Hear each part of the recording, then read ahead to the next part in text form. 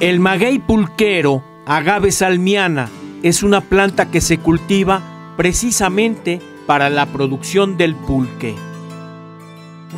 Para poder caminar entre las hileras de magueyes sin espinarse con las puntiagudas espinas de las pencas, se quitan algunas púas que podrían picar a los trabajadores del campo. Sorprende el filo y la maestría para hacer el corte.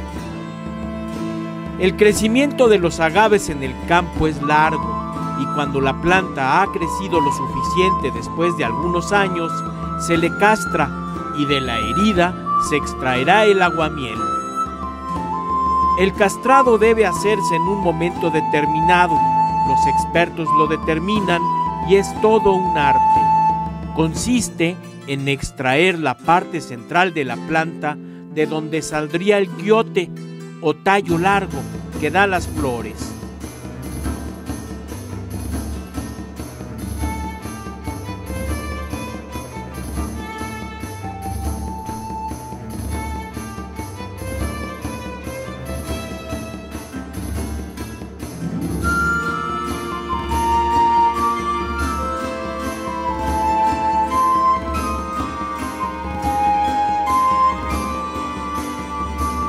Del mero centro de la planta se extrae el cogollo. A esta parte vegetativa tierna se le llama huevito y es comestible, una especie de alimento parecido al palmito.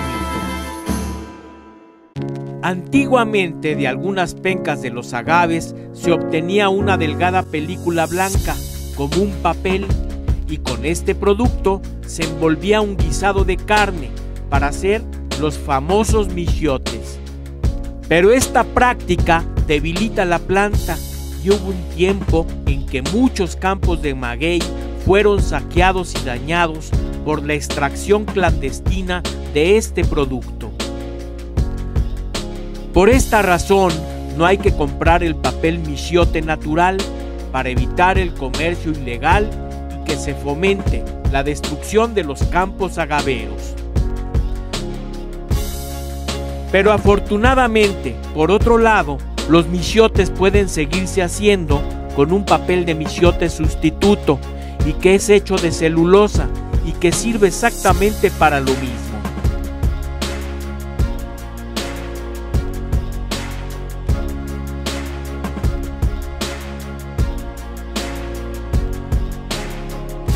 En el rancho San Isidro, en el estado de Tlaxcala, hay una fábrica que procesa el pulque de manera tradicional.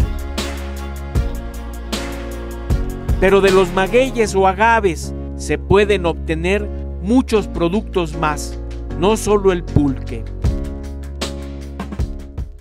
Miren, estamos en, en, la planta de aprovechamiento integral de maguey pulquero, donde hacemos otros productos derivados del maguey, no nada más pulque. Esto nos va a permitir a nosotros tener un extra económico de nuestro maguey. Aquí hacemos indulina de agave, hacemos azúcar de aguamiel, hacemos miel de aguamiel, un saborizante de maguey para evitar el uso de pencas y misiones para la barbacoa, hacemos también un eh, mezcal, un tipo mezcal, que es un destilado de, de agave, y también hacemos un destilado de pulque, entre algunas otras cosas. Ahí les dejo su tarea. La naturaleza ofrece muchos beneficios pero solo con trabajo, dedicación e inteligencia podemos sacar el provecho máximo.